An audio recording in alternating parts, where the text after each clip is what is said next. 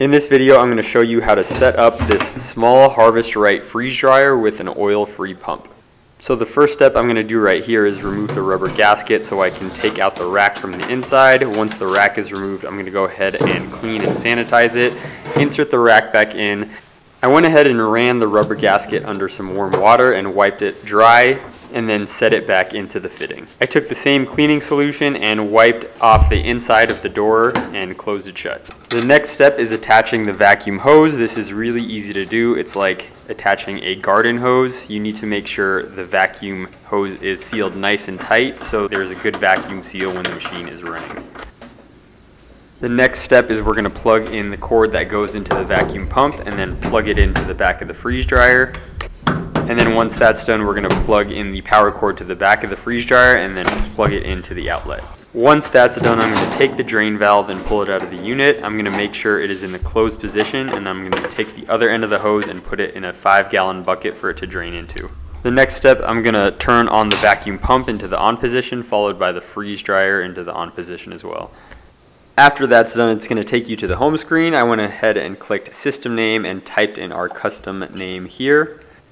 So after this is done, I'm going to go ahead and begin my functional testing. My model came with the oil-free pump, so I'm going to go ahead and click the oil-free pump button. And at this point, you don't want to forget to make sure the drain valve is closed.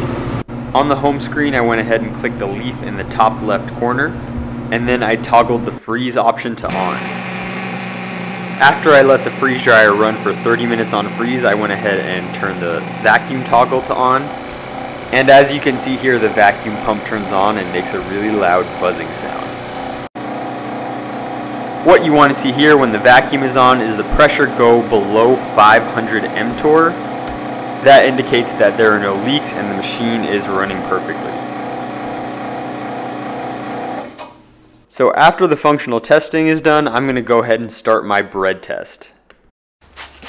So the instruction manual says to lightly moisten your bread, so I go ahead and do that with a spray bottle and go ahead and stick the trays in the freeze dryer rack and then press start.